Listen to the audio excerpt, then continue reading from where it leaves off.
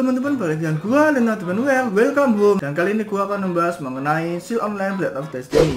Yang pada saat kali ini seperti judulnya yaitu adalah gua membahas mengenai Seal Online zaman old versus Seal Online zaman now. Dan bedanya apa gua akan bahas sedikit aja. Dan gua mengimbau bagi kalian yang tahu bedanya lainnya Selain yang gua sebutin bisa komen aja di bawah ya. Oke kali ini yang pertama langsung aja gua akan bahas mengenai skill time bombnya Demolish Di mana skill time bomnya dulu itu kalau kalian di Adel atau di mana tempat sepi pokoknya kalian tuh bisa PVP kalian tuh kalau time bomb sebelah kalian tuh bakal kena dan kemudian bisa ngekill bisa mati. Istilahnya kayak gitu. Pokoknya kalian butuh PVP sama siapa dia yang TB kita lang time bomb kemudian teman-teman yang sekeliling yang AFK itu bisa mati semua.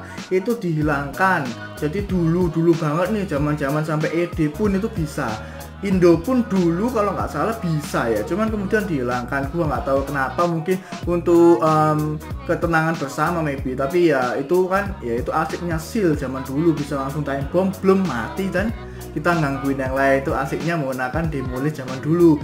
Dan yang kedua gua akan membahas mengenai ngework ngework itu apa? Kalian ketik yang namanya slash slash bla bla bla. Misal slash ilan slash lime slash zaid slash madeline flash di situ itu kalian bisa langsung pindah ke kota lain di mana yang dulunya nggak bisa. Tapi ya kemudian bisa tapi bisa itu dibatasin kotanya. Kalau nggak salah Madeline, Lime, Elaine, um, Zaid kalau nggak salah gitu.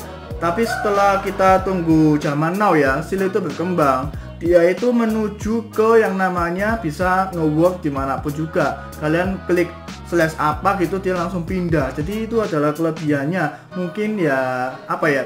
Ya apa gunanya yang itu yang yang bisa ngangkut-ngangkut kita apa gunanya? Kalau misalnya kita tinggal slash kemudian kita pindah. Tapi untuk cekernya juga beda-beda di tempat.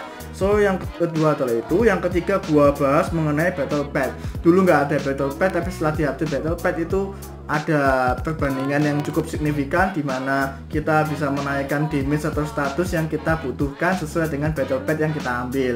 Dan dulunya nggak ada saat ini ada dan itu bisa membantu dalam hal mobbing dan lain-lain soalnya skillnya lumayan bagus juga battle pad itu adalah perkembangan yang cukup baik di mana battle pad itu ada dan gua mendukung itu ada dan ya gua suka dengan battle pad itu meskipun cuma 4 dan mungkin nanti ke depannya bakal ada yang lain lah ya diupdate lagi lah battle pad itu. 4 doang bosen update yang lain. Masih banyak. Kayak pelangi aja masih Magiku Ibiniu masa battle pad cuma 4 aja ya? Semoga aja bisa diupdate.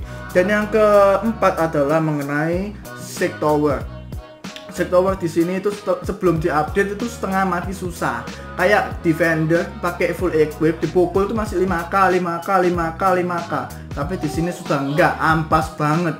Tower yang di zaman now itu betul-betul sudah ampas. Di mana kalau kita cuma apa ya, cuma cuma masuk istilahnya Tower zaman now itu lebih jelek lah kayak dia tuh masa lebih mudah dibanding Alkanes sejak kapan sektor lebih mudah dibanding Alkanes jadi gua nggak setuju masalah ini dan aneh nih update untuk zaman now ya. Bagus zaman oldnya itu lebih masuk akal. Zaman old zaman now-nya sektor lebih jelek lah kalau gua lihat ya. Dan yang kelima adalah mengenai event-event yang setiap bulannya itu ada. Misalnya event GC, Monopoly dan Rabbit di mana event ini um, dulunya nggak ada nih tapi kemudian di update-update dan ada. Dan tujuannya adalah untuk um, memenuhi kebutuhan kalian dalam hal pet atau equip supaya lebih cepat dan lebih baik gitu ya. Jadi nggak um, usah jual beli sana sini tapi melalui event GC Monopoly Rabbit ini kalian bisa um, dapat dipenuhi kebutuhan equipnya dan gua lihat cukup positif bagus juga dengan equipnya lainnya yang um, ada beberapa new item ya semacam dice yang hanya bisa didapatkan di Monopoly. Dan untungnya dia masih konsisten mendapatkan dice-nya di Monopoly. Jangan sampai ke gadget dan lain-lain sudah nggak konsisten bahaya nanti ya. Tapi di sini juga ada pet-pet yang langka-langka juga masuk di event-event ini. So event ini cukup bagus di zaman now. Yang gua sayangkan tetap sektornya doang sama um, time bombnya ya. Itu kayaknya hal-hal yang kita butuhkan di zaman old itu jangan sampai diubah ke zaman now. Ya itu sekilas mengenai perbandingan um, online zaman old versus zaman now. Semoga kalian suka. Dan komen jika kalian uh, membandingkan sesuatu yang lain di bawah ya. Oke teman-teman thank you buat kalian sudah nonton. Jangan lupa subscribe like share komen ini jika kalian suka. Ketemu lagi dengan gua di next video. God bless you and bye bye. Something's gonna bring the change. Journeys we are meant to take. Something at the edge of space Calling us to fly away